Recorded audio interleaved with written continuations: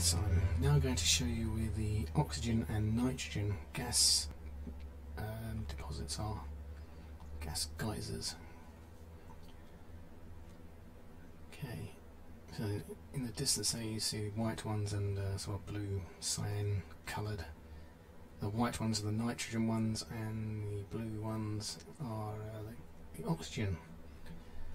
So the uh, actual location is minus 7.3 latitude and minus 22.4 longitude. Longitude. That's minus 7.3 latitude and minus 22.4 longitude. Now, see if I go up to them.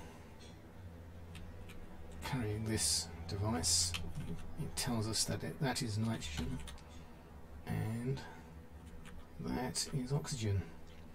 Now we can fill those up with. Oh, I've already done it, Dick. I hate this. I hate this shit. Okay. You can empty the uh, canisters with um, right click and then uh, em uh, actually says empty.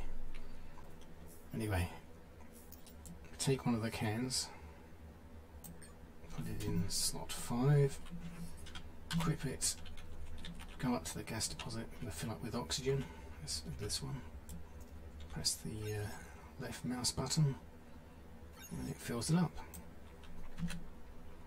And we look in there, it, it is, uh, has a big O on it for oxygen, it's filled up. Plonk that back into our backpack, take the empty one, let's go and get ourselves some nitrogen. Left click, filling up, 100, and done.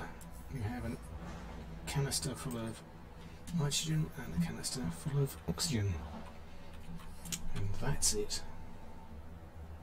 Hope that was useful. Any questions? Put them in the comments below, and thank you for watching.